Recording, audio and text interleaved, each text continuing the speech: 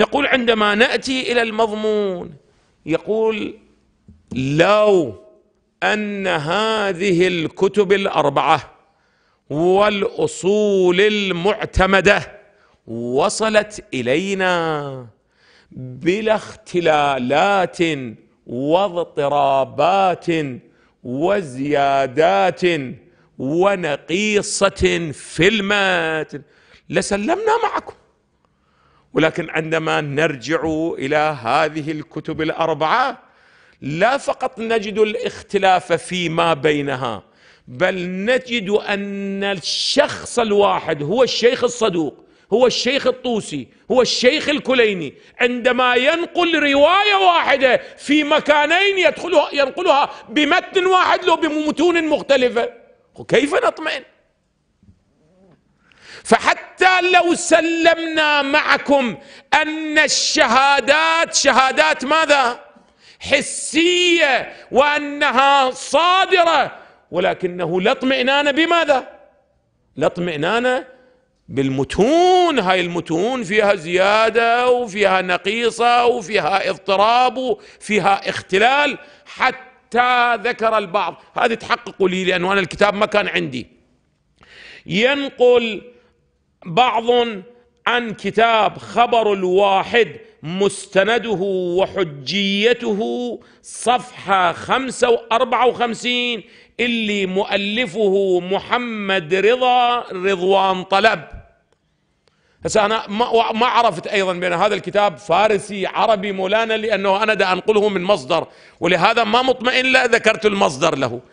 خبر الواحد مستنده وحجيته محمد رضا رضوان طلب ينقل عن السيد الزنجاني المعاصر اللي هو كثيرا مشتغل على كتب الحديث والحق من الخبراء في هذا المجال. ينقل هذه العبارة اللي هي جد خطيرة أعزائي التفتوا لي. يقول أن كل سطر في الكافي مو كل حديث كل سطر في الكافي لا يخلو عن ارتباك يخل بالمعنى.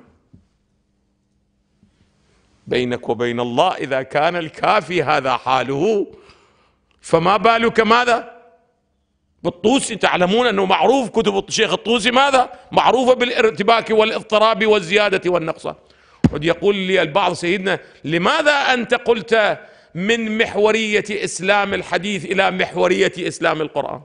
لا أقل هذه الزيادات والنقيصات والإضطراب والتلاعب والنقل بالمعنى والتقيه والتصحيف والكذب والدجل والغلو هذا كلهم ما موجودة في القرآن بعد. نعم فقط يوجد أنه فهم القرآن نختلف فيه فليكن. ولكنه بعد هذه كلها بعد لا توجد. التفتوا لي جيدا كلها لا توجد.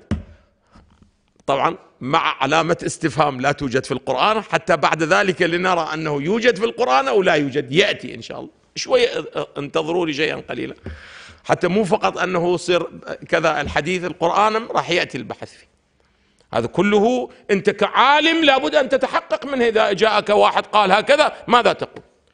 ولهذا أعزائي أنت عندما تراجع الرسائل الأصولية وين صار مولانا هذا الرسائل الأصولية؟ أهبل. الرسائل الأصولية للوحيد البهبهاني صفحة 46 وصفحة 193 يقول صفحة 46 هذه عبارته زيادة التوضيح في بيان الاختلالات في المتن. يقول سلمنا هاي الشهادة حسية أنه صدرت ولكن ماذا نفعل بهذه الاختلالات المتنية؟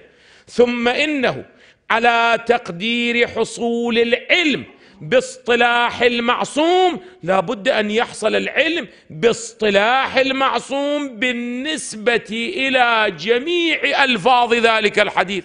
أن هاي الألفاظ صدرت ممن من؟ المعصوم كما الآيات صدرت من النبي صلى الله عليه وسلم. ومع ذلك أيضا لا يخلو حال الحديث ما أتيت به و و و بودي أن الأعز البحث مفصل. وهكذا في صفحة 193 أعزائي صفحة 193 هذه عبارتهم. ومما يشيد أركان ما ذكرناه. يعني ماذا؟ يعني المنهج الأصولي. يشيد نظرية الأصوليين أن الكتب الأربعة عندنا مشتهرة اشتهار الشمس. ما بمشكلة من حيث السند ماذا؟ ما عندنا مشكلة. وقد كثرت قراءتها ومذاكرتها وملاحظتها وبلغت الكثرة غايتها بل وأكثر وأكثر النسخ قد قرأت كثرت القراءات فيها وصححها المشايخ ومع ذلك لا تكاد توجد نسخة ليست فيها أغلاط مضرة واشتباهات مفسدة. إذا كانت الكتب الأربعة هذه كيف يمكن أن نطمئن هذا كلام من؟ كلام المعصوم.